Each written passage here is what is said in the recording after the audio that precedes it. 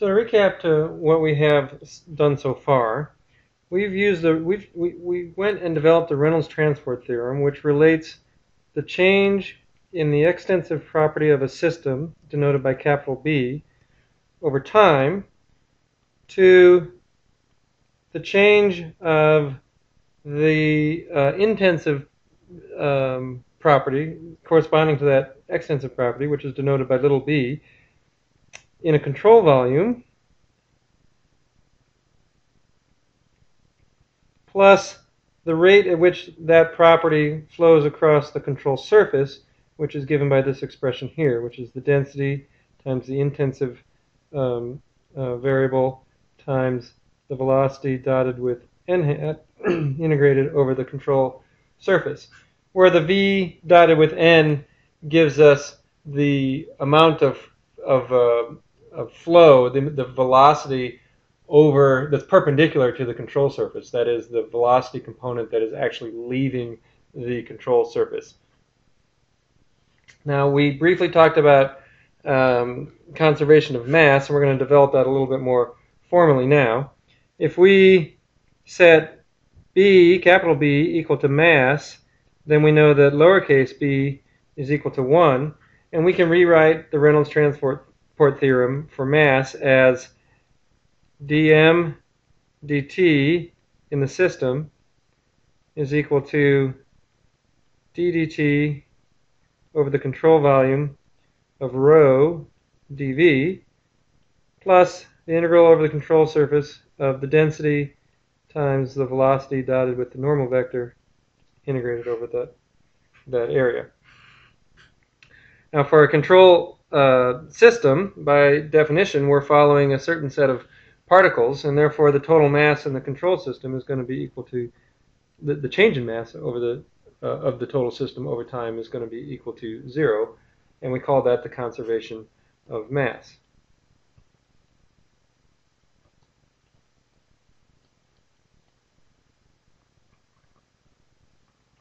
Now let's look at the, the um, second part of this equation. That is, let's look at the part of the equation uh, where we're looking at the integral over the control surface.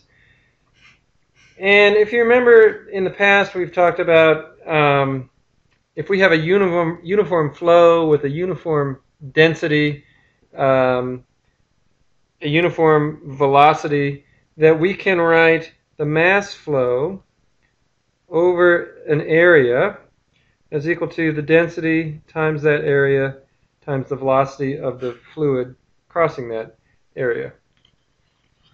Now, in a more general case, when uh, the density is not constant or the velocity v is not constant, then this is, is generalized to the mass flow over a boundary is just equal to the integral over that boundary of rho v dotted with n hat dA.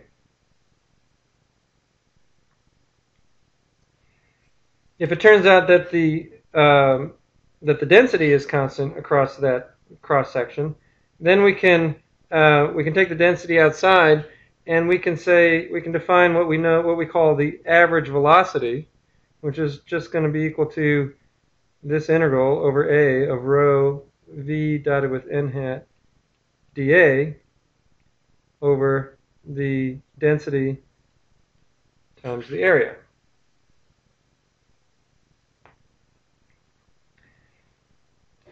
If the velocity is constant across this area as well for, for uniform velocity, then uh, of course the, the v just comes um, outside the integral once again, and we see that, of course, the average velocity is just equal to the uniform velocity v. Let's look at an example. And in this one, we will look at the effects of, or how we deal with compressible flow as well. Let's say that we have a pipe.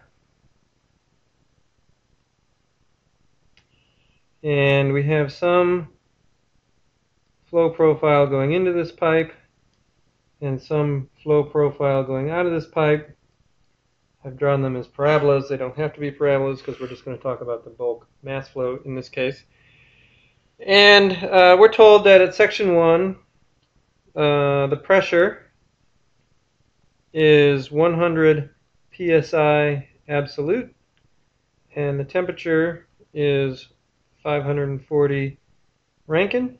Nice of them to convert to Rankine for us. And at the, uh, that's a, supposed to be a 2, at the outlet, the down, somewhere downstream in this pipe, the pressure has uh, decreased substantially to 1 point, to 18.4 psi absolute. The temperature has gone up slightly, no, has gone down, sorry, to 453 degrees Rankine. And the average velocity is 1,000 feet per second.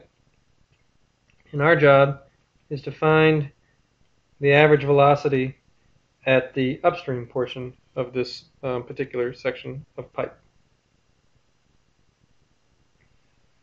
So the first thing that we do is what we always do, which is we define ourselves a control volume, which I will draw in red here.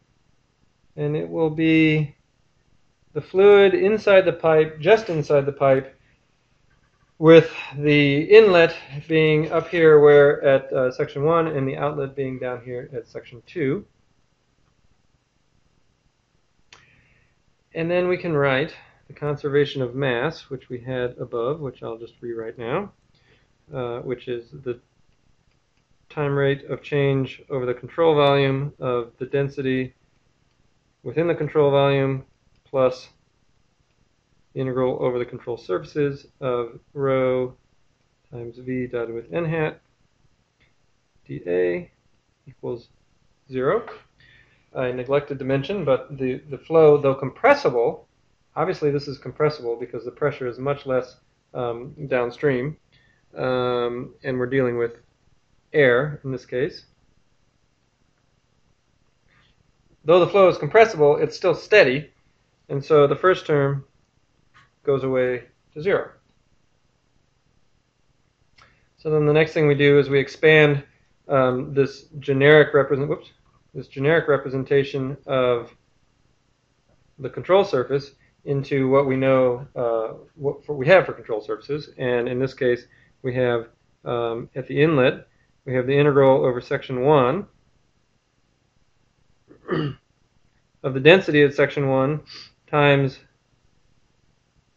the velocity at 1 dotted with n hat integrated over the area plus the same for section 2.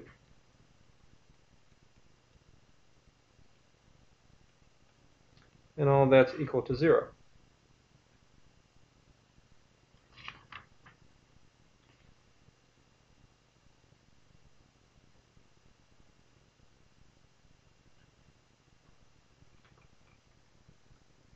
Now on the left-hand side, uh, actually for both cases, we're considering the density to be constant across the um, uh, across the, the area.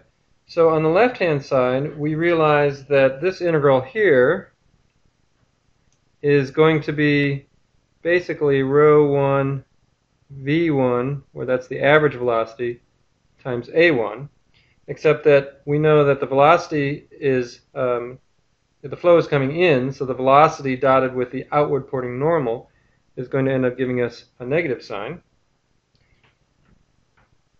And similarly for the second integral, we see that we're going to end up with rho 2 times the average velocity at 2 times the area at 2. And this is going to be positive because the velocity is, is flowing outward. It's in the same direction as the outward pointing normal.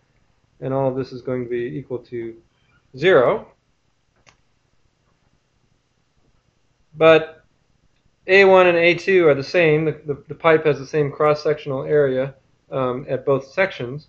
And so we can rewrite um, the average velocity at 1 is equal to, well, we take that to the other side and divide by rho, and we see that it's just equal to the average velocity at 2 times the ratio of rho 2 over rho 1.